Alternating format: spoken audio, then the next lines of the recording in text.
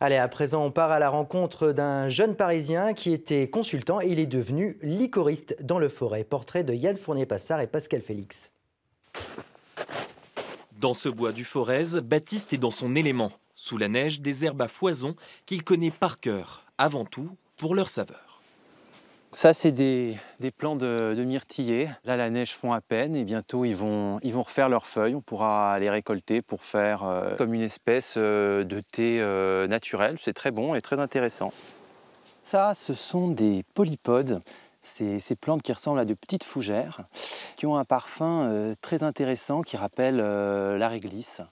Ce matin, une plante intéresse particulièrement Baptiste. Voilà un magnifique spécimen euh, de genévrier. Moi, je l'utilise en l'associant avec euh, l'orange pour donner beaucoup de fraîcheur.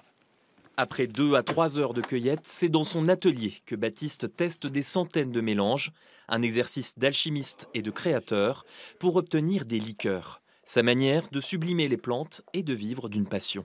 On a la possibilité d'extraire les saveurs, même si on est sur une plante par exemple qui va être coriace, donc c'était euh, super intéressant. Et puis voilà, je me suis pris à ce jeu-là, euh, d'autant que euh, je suis très amateur de spiritueux et j'aime beaucoup servir un digestif par exemple à mes amis après un beau repas.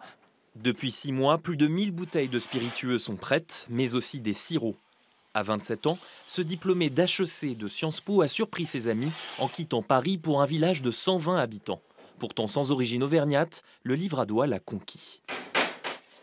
Ça les a fait rire et ça leur a plu dans le sens où effectivement on entend beaucoup actuellement des histoires euh, de euh, jeunes gens qui, après avoir travaillé dans des grosses entreprises, euh, retournent à la campagne. Après, je ne suis pas certain que je l'ai fait pour les mêmes motivations que ce type de personnes-là, mais dans le fond, c'est un projet qui est plutôt rigolo.